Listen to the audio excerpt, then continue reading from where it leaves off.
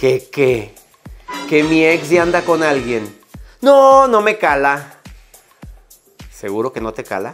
Claro que hay mucha gente que le duele y le cala cuando se entera que su expareja, exnovio o su ex esposo o ex esposa empieza a salir con alguien. Desafortunadamente se convierte en un dolor difícil de tratar si no estás preparado. A ver, ¿cómo poder sobrellevar esa crisis cuando te enteras que tu ex pues ya está empezando a rehacer su vida sin ti? Las recomendaciones son muy claras. Primero piensa en que su nueva pareja no es mejor que tú, porque la mente empieza a papalotear. Se me hace que es más linda, se me hace que es una persona muy encantadora, a mí se me hace que la, la trata muy bien, a mí se me hace que es una persona que es más culta o culto que yo. Y empezamos a imaginarnos situaciones que ni nos constan. La segunda, recuerda que el pasado nadie lo puede borrar. Mira, lo bailado, nadie te lo quita. La pasaste muy a gusto, sí, que bueno. Disfrutaste la relación, sí.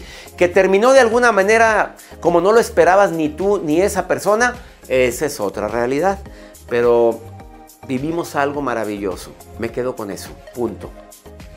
La tercera, considera que quizás no estaban destinados para estar juntos.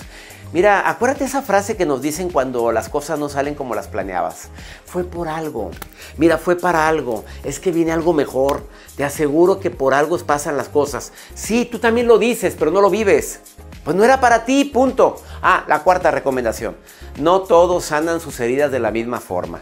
Que tu expareja haya decidido entablar una nueva relación no significa que el pasado no le parezca importante o que no le pese.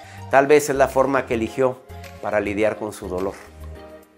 Y la última, no trates de vengarte, de veras que a mí se me hace increíble cómo hay parejas que se empiezan a vengar y empiezan a buscar cómo desgraciarle la vida al ex. Agradece, bendice lo vivido, no olvides que todos tienen derecho a ser felices, no lo olvides eso, recuérdalo, tienes tu derecho a ser feliz y esa persona que en su momento fue importante en su vida también tiene derecho a ser feliz.